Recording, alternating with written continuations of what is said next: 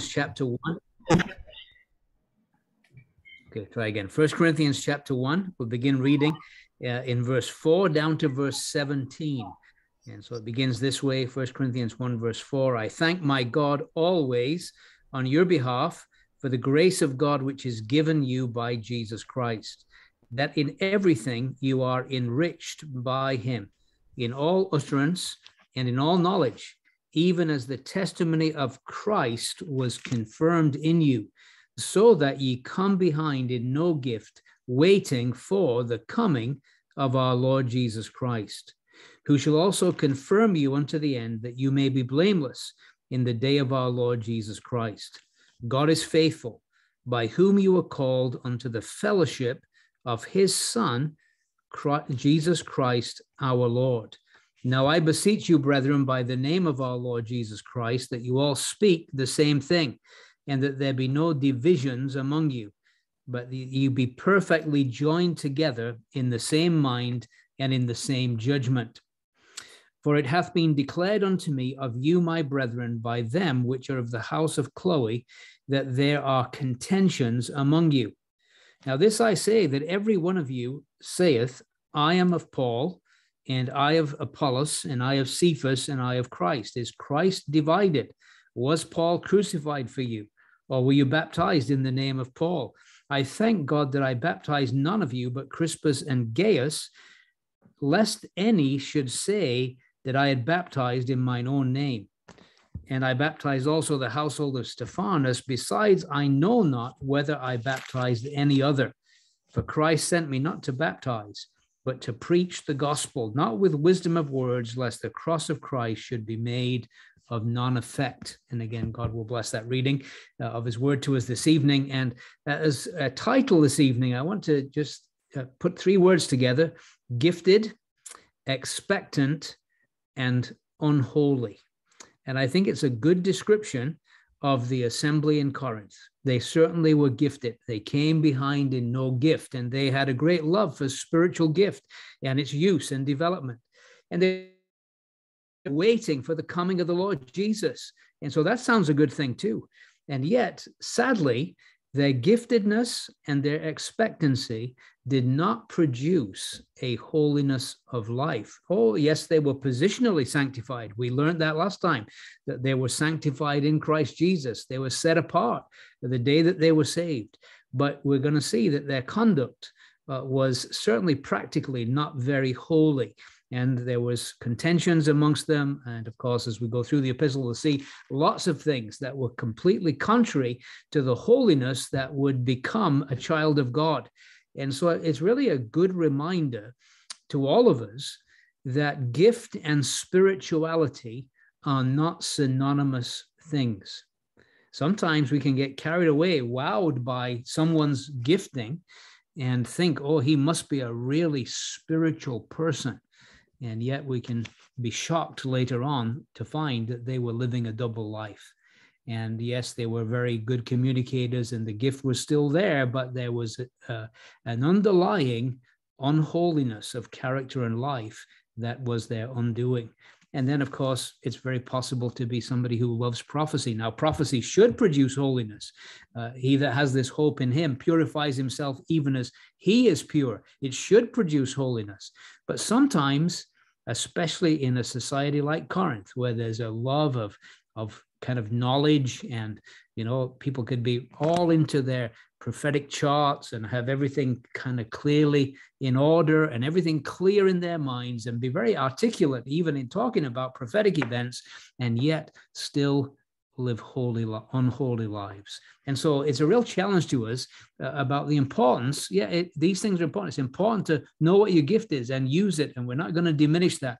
It's important to live in expectancy of the coming of the Lord Jesus. But also, we need to live in a way that we will not be ashamed before him at his coming. And so that's kind of the challenge that uh, I feel is before us in this little section. And so when it comes to his Thanksgiving, we kind of just begun to talk about this last time that he does always seem to find something to thank God for. And uh, in this case, it's to do with the things that God has done for them. uh, his grace in the past when they were gloriously saved, uh, the gifts they have in the present uh, that they're clearly are very evident in the assembly there. And then uh, as he thinks about the future, he thinks about their guarantees, uh, the very fact that you may be blameless in the day of the Lord Jesus Christ, that uh, God is going to do that. He's going to confirm you to the end that you may be blameless in the day of the Lord Jesus. And so he thinks of their future guarantees. And so he's thankful for all these things. God's grace, God's engiftment, and God's guarantees. But really, none of those things are very personal to them in the sense that when he's thankful for the Philippians, he'll talk about uh, how grateful he, he was for their fellowship in the gospel from the first day until now. And he's got a lot of personal things to, to thank God for about them. Uh, for the Thessalonians, uh, he, their work of faith, their labor of love, their patient of hope. Uh, all the thanksgiving is to do with things that, that where the word of God is being worked out in their lives. When it comes to Corinth, you don't really say any of those things, just acknowledging uh, how blessed they've been in terms of grace, gifting, and their guarantees. And so that really sets the tone, doesn't it? It kind of tells us what's coming. He's thanking God for what he can thank God for. But it would be nice if you could have thanked God for their fellowship in the gospel. If you could have thanked God for uh, how from them the word of God had thundered out, like at Thessalonica or something like that. But no, he just finds things to be thankful for in terms of what they have as an, a gift from God in terms of his grace. And of course, it's good to be thankful that grace has come to Corinth and that there's a testimony to the name of the Jesus there. And also, he goes on and says that in everything you're enriched by him. And it is wonderful how enriched our lives have been since the day we received the Lord Jesus, how he has blessed us and benefited us in so many ways. And uh, of course, we, we know scripture is replete with talks talking about the things that we have, all the spiritual blessings we have in heavenly places in Christ, that we're complete in him. Uh, we're really blessed people but we're also blessed in terms of being given spiritual gifts that were given to us at conversion. And certainly that's what is in view when he thinks about the Corinthian believers. They're enriched by him in all utterance, he says, and in all knowledge. And so, particularly, he's speaking of gifting that looks something like this all utterance has the idea, it's the word logos, and it's the idea of um, the fact that we've been they, they had been given uh, the ability to to discourse uh, to to speak uh, about the truth and to to give outward expression to the truth of God. And they were very articulate in being able to communicate those things. And then he says not only in all utterance but in all knowledge. And of course that's the inward apprehension the the of truth that ability to understand truth. So of course to be able to articulate truth you have to understand it and God had given them that ability. They're people who understood the truth of God and they knew how to articulate it and to do it well in a very convincing way. And yet, again, it shows that there's a problem sometimes. Sometimes we know what the Bible says and we share it with others, but our difficulty sometimes is applying it practically to our own lives. And we're going to see that that is the big issue in Corinth. They, they have a lot of knowledge, and he's going to tell them knowledge puffs up. They they were like walking Bible dictionaries. They had a tremendous grasp of truth, but it wasn't changing them. It wasn't, as it were, reaching their hearts and then working out through their wills in terms of their action. It seemed to just be a very heady thing. And there's a danger, especially in evangelical Christianity, to have a heady knowledge of the truth, but to it not really permeate and affect our lives. And so he, he certainly can say of them, yeah, they can they can articulate the truth and they have a good knowledge of the truth. And again, this is part of the blessing God has brought to them. And they certainly are well endowed as far as gifting is concerned. And so he, he talks about uh, that the testimony of Christ is confirmed in you by this gifting. So it's an evidence that they're really saved is that they have these supernatural gifts that have been given to them by the Holy Spirit. So you come behind in no gift. So all the gifts were very evident in the city of Corinth. And of course, that's a big theme that we're going to see uh, throughout the epistle. Uh, their, their fascination with gifts, their, their use of gifts, and their eagerness to use gifts when they came together. Every one of you has a psalm, has a tongue, has an interpretation. And, and th- there was no awkward silences at the meetings in Corinth. Everybody was, as it were, loaded and ready to speak. And by the way, that's something that we can learn from in a sense that sad, sadly uh, i was recently at a prayer meeting and one person prayed and i want to tell you the, the long awkward silence for the rest of the time was utterly painful and so we can learn from Corinthians. When they came, they were ready. I mean, they had something that the Lord had given them to share. So they certainly gifted people. But again, we would say this sometimes too, there are some assemblies that seem to be more richly endowed with gift than others.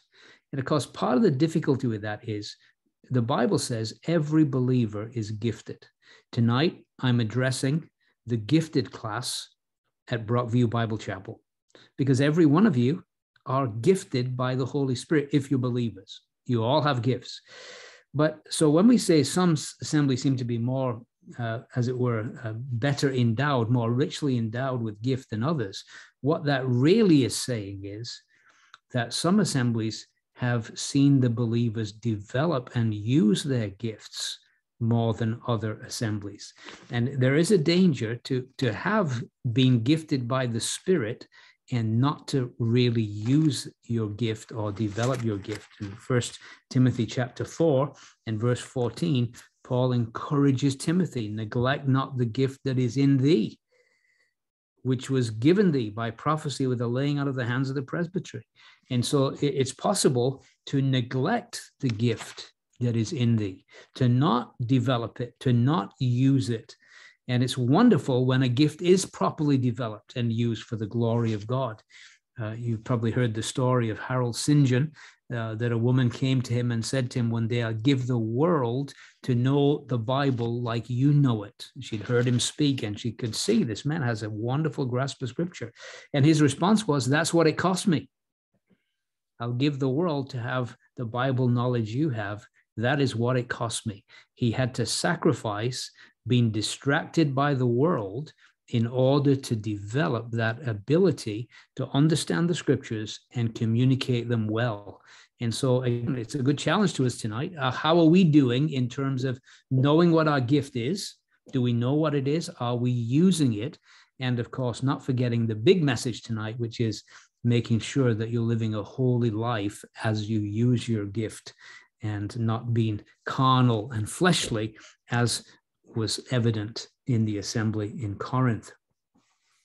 And so clearly, uh, Christ's testimony was evident there because they were gifted by the Spirit, and it was obvious that they had received this gift, and it was very clear that it was seen in all of the saints.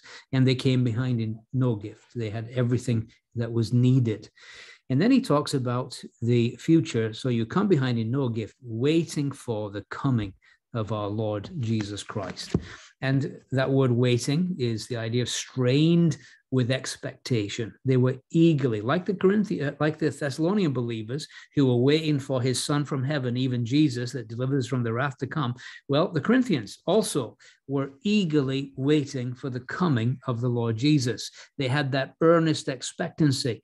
Uh, they loved the truth of the coming of the Lord. Paul had obviously taught it when he was in Corinth, and they loved it. Now, uh, the word that's used here, the coming of our Lord Jesus, the word coming is the word unveiling here, and it usually is used in connection uh, with his coming in glory at his second advent as opposed to the rapture. And certainly there is an expectancy and an eagerness for that day. And I think we have that day too, don't we? We're, we're tired. I think, I don't know about, I speak for myself, but we're tired of corrupt governments. Uh, we're tired of ineptitude in government. And we're longing for a day when a king will reign in perfect righteousness on the earth. Uh, we're looking forward to that day when Christ, who is still despised and rejected of men, when when he will be acknowledged as king of kings and lord of lords and be seen in all his splendor and all his glory. And certainly we look forward to that day with great eagerness.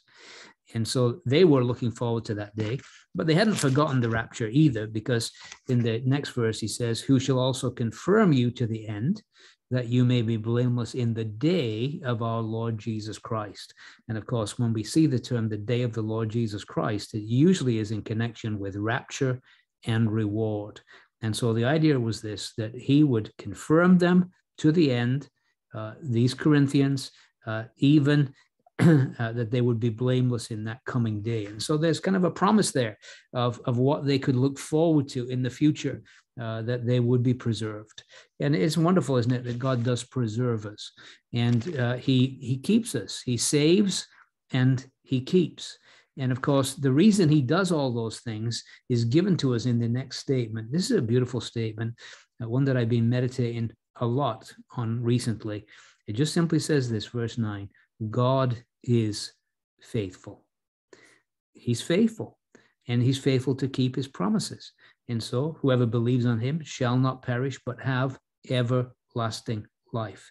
He keeps his promises. He's faithful. The faithfulness of God is a marvelous, marvelous thing. And so it was as a result of the faithfulness of God that these, well, the one that had begun a good work in them would complete it. And so we're thankful for that. And we're thankful for the, the marvelous, amazing truth of the faithfulness of God. I was speaking to somebody recently, and uh, this is a special time for us. It's our uh, anniversary time in that um, in 1984, 31st of May, and my wife and I left secular employment and we went out looking to the Lord to supply our needs. And here we are. All these years have gone by. And I could say to people, I don't know what it is to live by faith, but I know a lot about what it is to live by God's faithfulness because my faith is, well, it's up and down, but his faithfulness doesn't change. Isn't it wonderful just to bask in that truth that we serve a God who is faithful? He can't deny himself, he abides faithful. And so, how marvelous the faithfulness of God. God is faithful, by whom you were called into the fellowship of his Son, Jesus Christ our Lord. What a marvelous thought this is. To the, the fact that we, we, we heard a lot about calling, didn't we, in that uh, message last week? Uh, Paul, a called apostle, this church that's called out from Corinth uh, to the name of the Lord Jesus. They're called saints. Uh, and it's to all who in every place call on the name of the Lord Jesus. And here we have this amazing truth that we were called into fellowship with the Lord Jesus Christ. And this is the, the important thing that we need to grasp really that in the Christian life, it is we're brought into communion with divine persons. And I don't know if that, maybe we just get used to this, but we shouldn't. That here we are, the Corinthians, ourselves, sinners of the Gentiles, once so far off, and now, by grace, we're brought into fellowship with divine persons. And this is a marvelous, marvelous theme of the Word of God.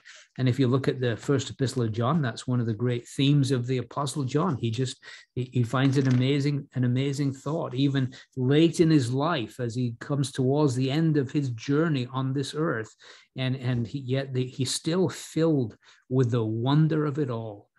And, and so he says, for that which we have seen and heard in, in 1 John 1, verse 3, declare we unto you that ye also may have fellowship with us. And truly, our fellowship is with the Father and with his Son, Jesus Christ. And then Paul would say to them at the end of Second Corinthians in chapter 13, about the communion of the Holy Ghost. And so he'll say in chapter 13, verse 14, the grace of our Lord Jesus Christ, the love of God, and the communion of the Holy Ghost, or the koinonia, the fellowship of the Holy Ghost, be with you all. Amen. And so, isn't it a marvelous thing to think of who the Corinthians were and now what they have been called out of, and then what they've been called into? Into this fellowship with divine persons. And, and how marvelous here when he talks about the Lord Jesus, he talks about the fellowship of his, his son. And there's a dignity about fellowshipping with the one who is none other than the eternal Son of God right? So we've been called into fellowship with his son. And so there's a great dignity in this that that the one who is the the eternal son of god is the one that you and i can enjoy fellowship with this evening. And then of course his son jesus.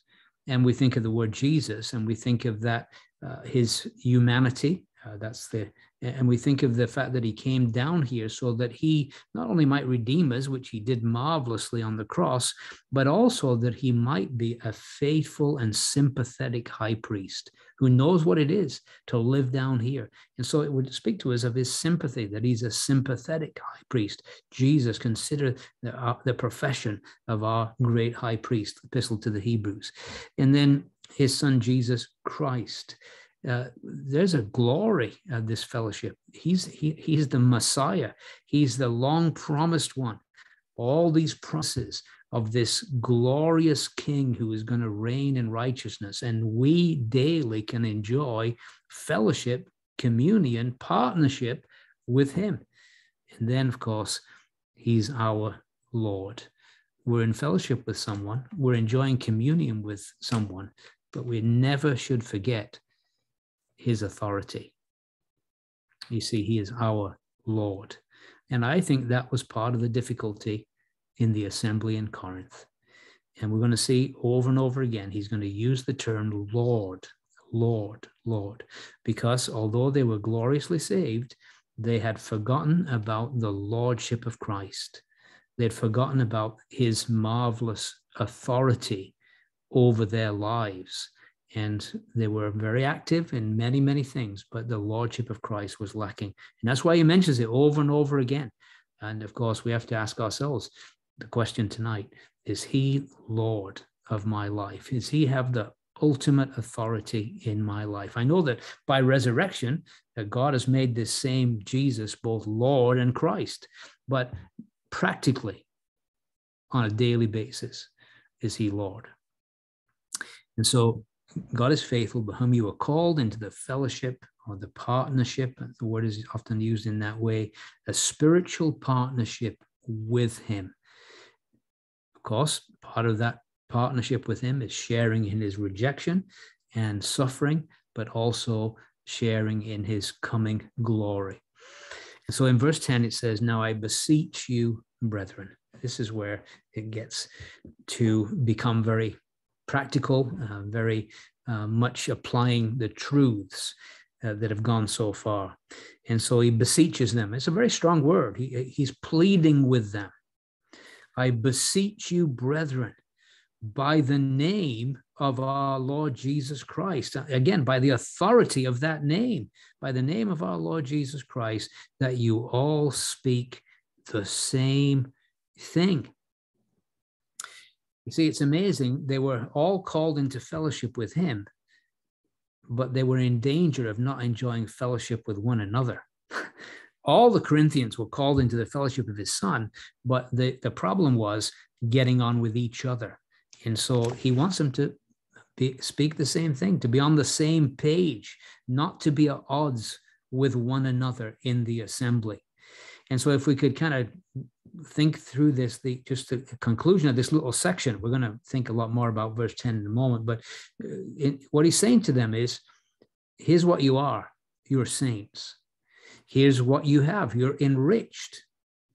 You have his grace that has been given to you through Jesus Christ. You have his gifts, you have his guarantee. Now live up to your position, live up to it.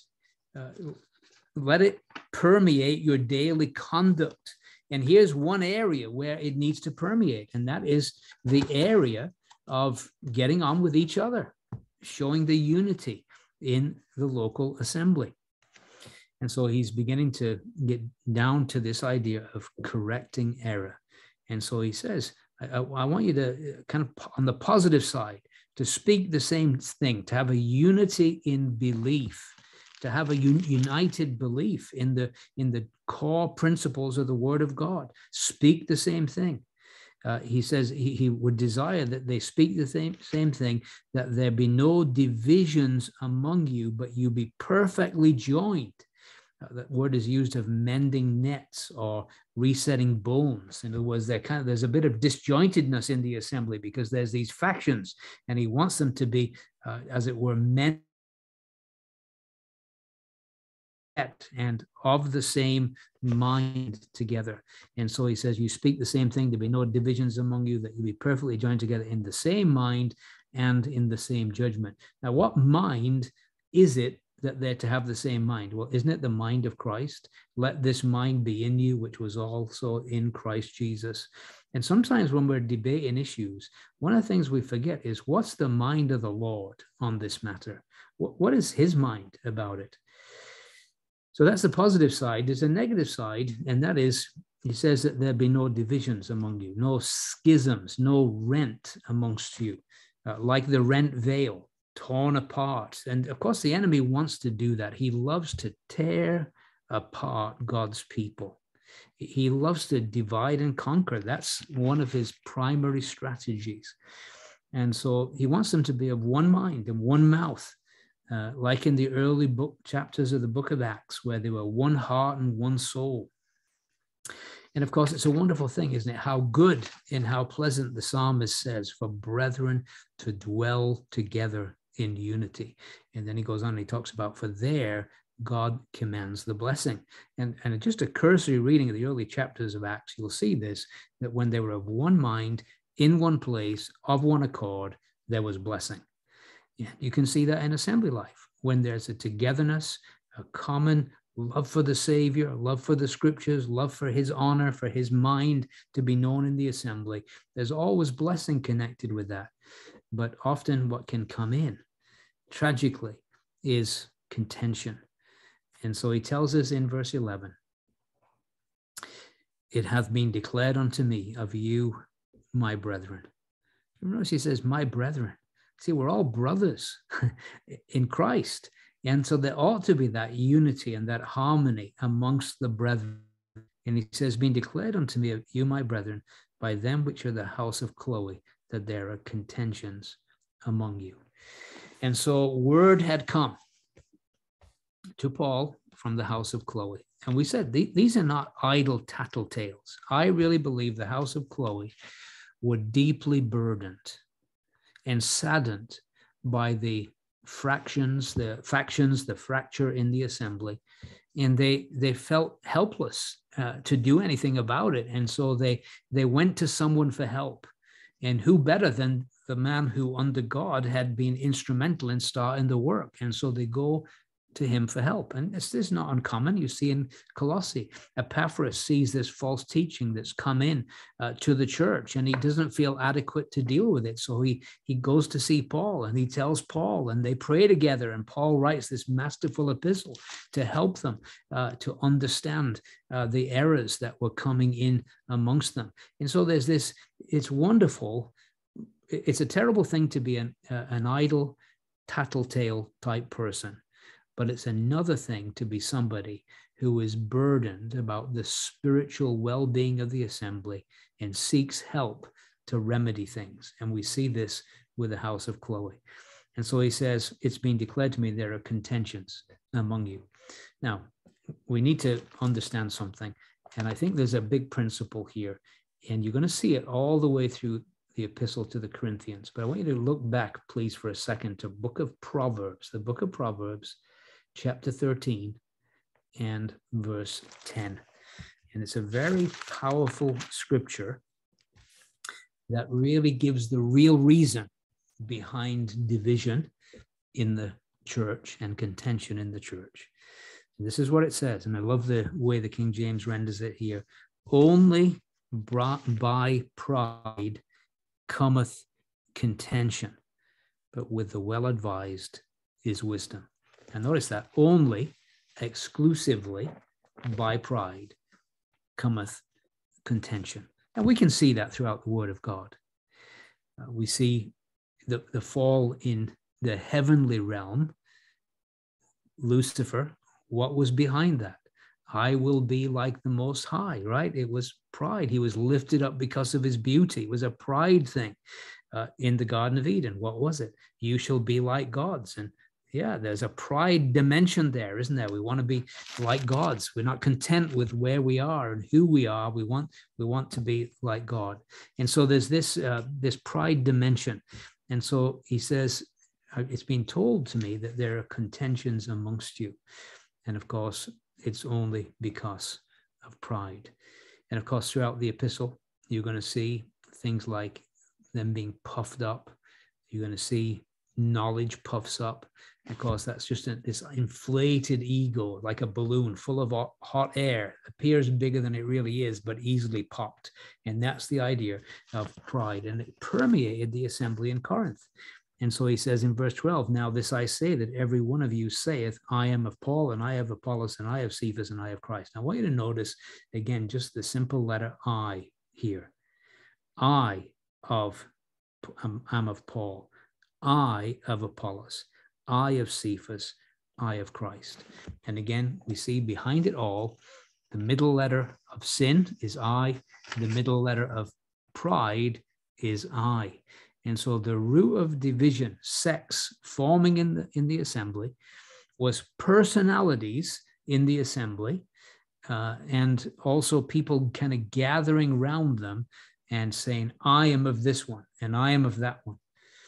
And so as we names that are mentioned, and we're not really sure whether these were uh, the actual sects that were developing in the assembly or whether he was just using that as an example. Because if you look at chapter 4, verse 6, he says, These things, brethren, I have in a figure transferred to myself and to Apollos for your sakes, that you might learn in us not to think of men above that which was is written, that no one of you be puffed up for one against another.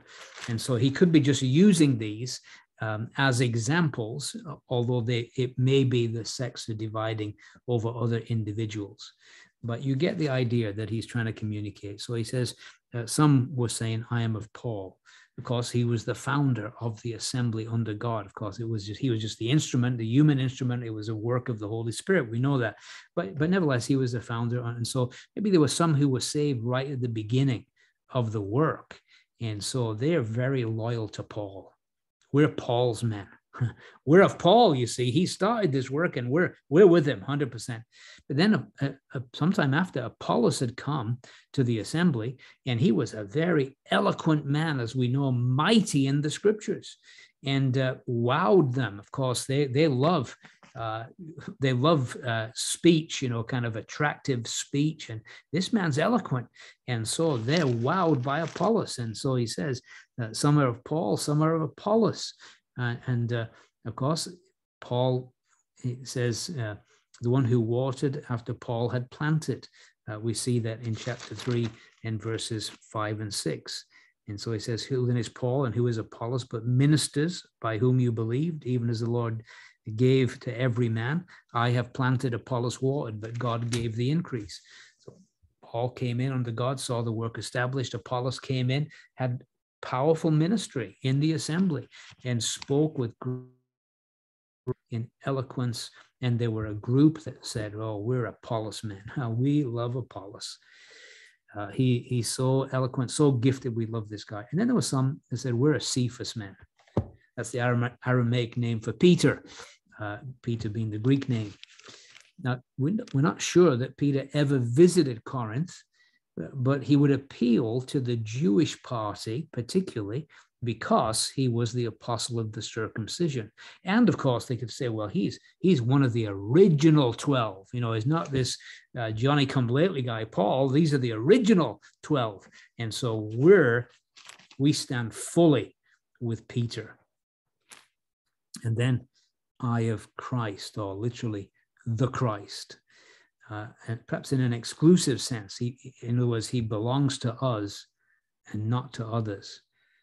Of course, he really is the Messiah, but maybe again, this is a Jewish group saved from the synagogue and uh, emphasizing the messiahship, or his messiahship over Israel, and we're the kind of messianic party in the assembly, and and so there's these these divisions. And nothing has changed much since the days of the Apostle Paul. The heart of man has not changed. And so we see, as we look at Christendom today, we see all these different sects and all these different parties, and we see how they developed. And it was really First Corinthians lived out in reality. And so I'll give you an example. Um, we have the body of Christ divided up into all these different groupings. And so, for instance, they gathered around personalities like Martin Luther, who was quite a personality. If you read his biography and his story, he was a larger than life character. And so there are some that would call themselves by the name Luther. They say, well, we're Lutheran. They like that name. But listen to what Martin Luther had to say. And again, in, in his typical colorful style, he, he says it very, very well. He says this The first thing I ask is that people should not make use of my name and should not call themselves Lutherans, but Christians. What is Luther? The teaching is not mine, nor was I crucified for anyone. How did I, poor, stinking bag of maggots that I am, come to the point where people call the children of Christ by my evil name? I love that last statement. How did I, poor stinking bag of maggots that I am, come to the point where people call the children of Christ by my evil name? And of course, it's often been said, let, let sex, was it, let, let names and sex and parties fall, and Jesus Christ be all in all. But we have churches that are gathered on the basis of ordinances, or Baptists, who particularly are fond of being quote, titled with that, that name. Uh, some, it's to do with their form of church government, or at least what they understand the biblical form of church government to be. They may be off on that, but you've got Episcopalians who have this idea of the bishopric and all the rest of it, Presbyterians, the presbytery, uh, methodology, the Methodists, or even names again, the Wesleyans or whatever. And again, we just see uh, these things even to this day. Even the name brethren, if it's used in an exclusive sense, is a sectarian sin. I'm a Christian, a believer, brethren, saint, anything that could be used of any child of God. And that is exactly how we should call ourselves. We're a companion of all them that fear thy name. And again, as you think about these things, I would say this I believe in believers' baptism, very much so, but I'm not a Baptist. I believe in the plurality of elders, but I'm not a Presbyterian. I believe in the universal church of Christ, but I'm not Catholic.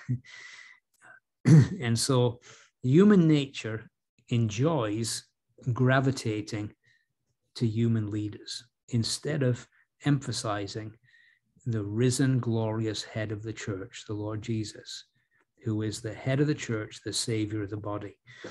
And it is interesting, too, that even in the early days of a recovery of New Testament truth, having met together in wonderful unity from 1826, everything was going smoothly just gathered, we're just Christians gathered to the name of the Lord Jesus.